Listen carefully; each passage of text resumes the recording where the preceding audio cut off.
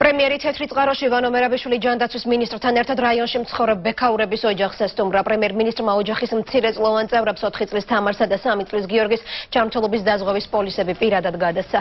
ბექაურებთან საუბრისას მთავრობის ხელმძღვანელმა ქვეყნის თითოეული მოქალაქისთვის ჯანდაცვის ხელმისაწვდომობის აუცილებლობაზე ისაუბრა და ხაზი გაუსვა, რომ 1 სექტემბრიდან სახელმწიფოს მიერ დაზღვეულ ადამიანთა რაოდენობა 1 მილიონით გაიზრდება.